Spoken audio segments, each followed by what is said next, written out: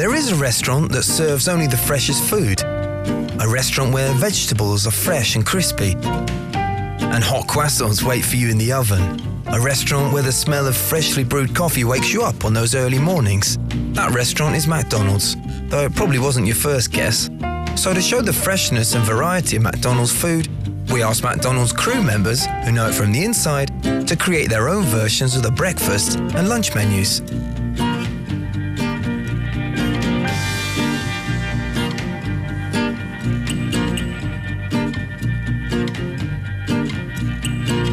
They used an artist's talent, an advertising billboard, and lots of chalk.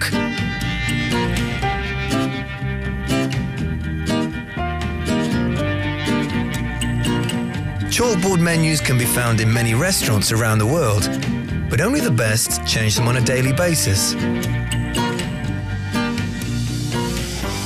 However, there is a restaurant that changes it twice a day.